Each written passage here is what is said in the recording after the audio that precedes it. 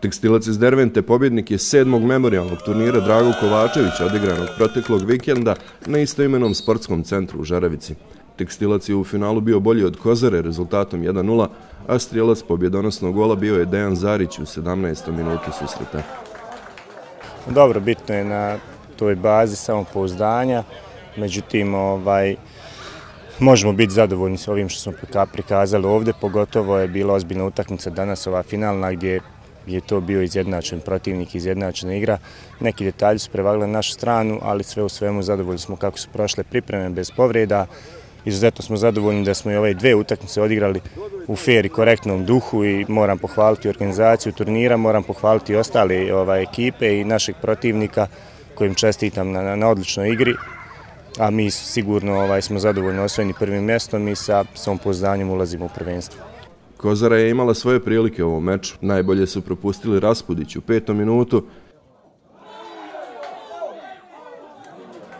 I Novaković u 55. nakon sjajnog udarca Petkovića.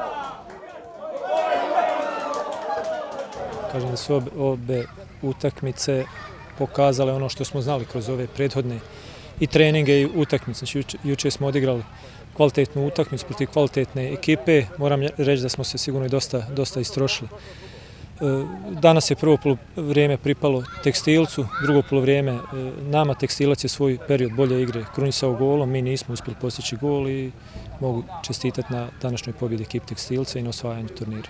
Narednog vikenda počinje nova sezona u prvoj ligi Republike Srpske. Kozara će u prvom kolu gostovati u Modriči.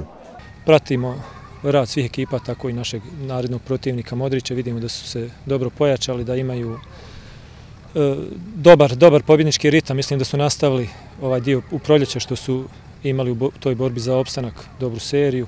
Ostvarili su opstanak, tako da su nastavili u istom ritmu i kroz ove pripremne utakmice. Vidim da su odigrali osam pripremni, sedam pobjeda, tako da nas očekuje zahtjevan protivnik, zahtjevna, zahtjevna utakmica, ali imamo još sedam dana vremena da se i osvježimo, da olakšamo noge, što bi rekli, i da uđemo spremni u to prvenstvo.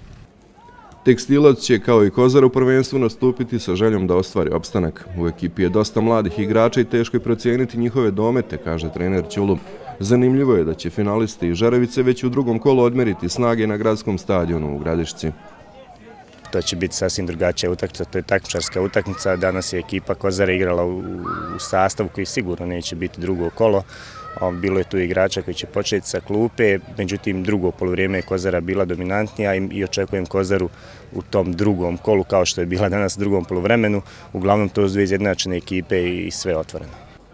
Pored tekstilca i kozere na turniru u Žaravici su nastupili i Rudar Prijedor te domaćin jedinstvo. U polufinalu tekstilac je bio bolji od jedinstva 7-3, a kozara od Rudara 4-3 nakon penala. Dejan Zarić iz tekstilca je najbolji igrač turnira, Slađan Stupar najbolji strelac, a golman kozare Dušan Bradić najbolji golman turnira.